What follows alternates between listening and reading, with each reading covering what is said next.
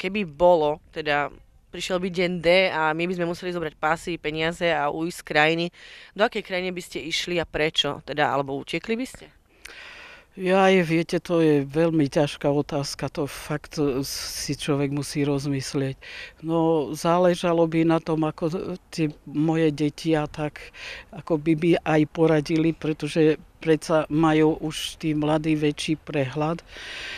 Tak neviem, ale ak by bolo moc veľmi zlé, tak by a iné východiske, keby mladí utekali, tak určite by som išla aj ja.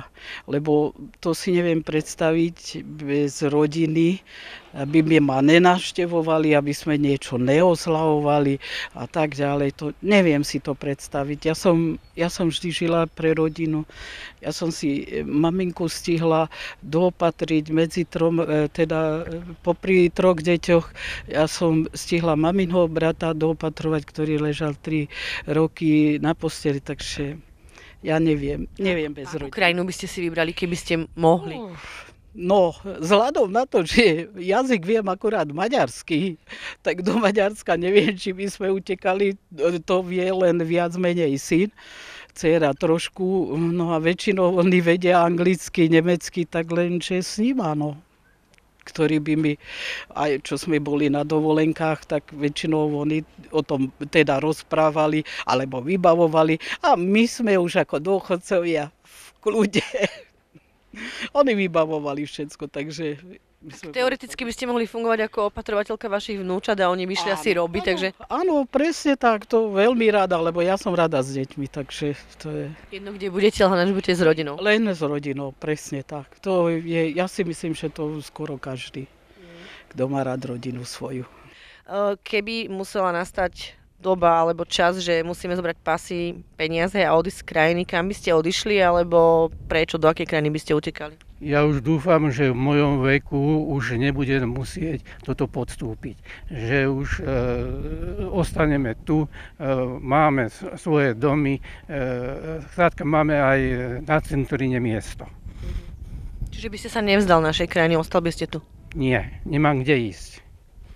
Čiže otázka je, že nemáte kam ísť a za kým? Mm, a nemá dôvod, e, aby som niekde šiel a niekoho hľadal a tak ďalej asi viete, čo sa deje za hranicami Slovenska na Ukrajine.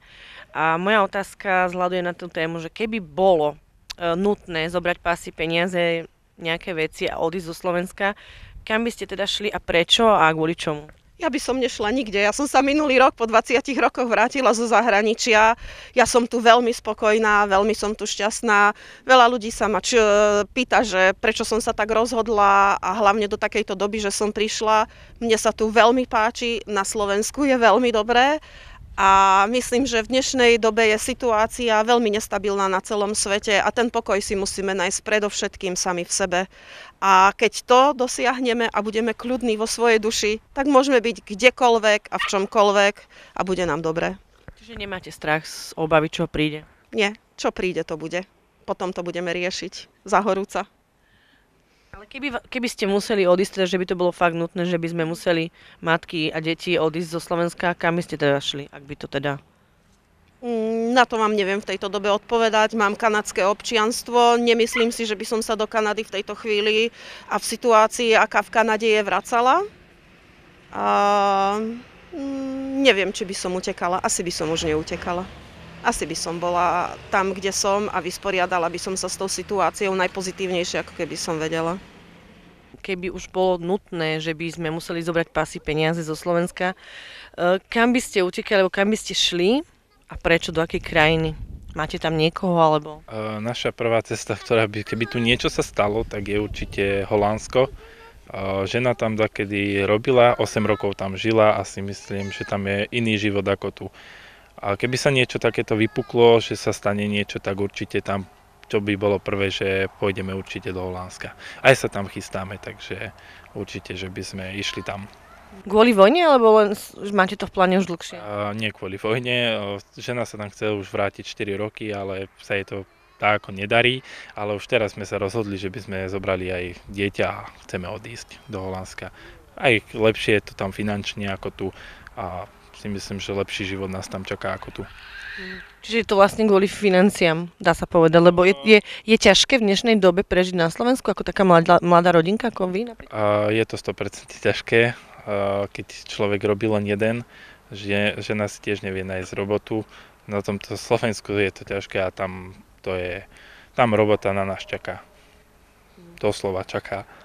Čiže bez ohľadu na to, či by vlastne niečo vypuklo na Slovensku, máte v pláne odísť odtiaľto? Áno, určite áno. A ovládate holandštinu ako reč, alebo...